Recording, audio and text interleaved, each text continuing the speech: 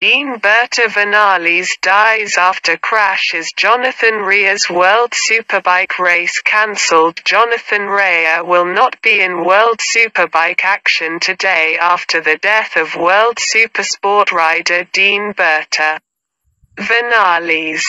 The Spanish rider suffered severe head and thoracic injuries during a serious incident in the first Supersport race of the weekend at the Spanish round in Jerez. The rider was attended to do track in an ambulance and at the Circuit Medical Center but, race organizers later announced, sadly succumbed to injuries.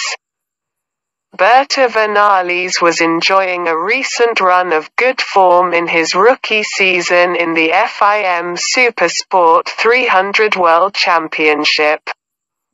claiming a best of fourth place at Magny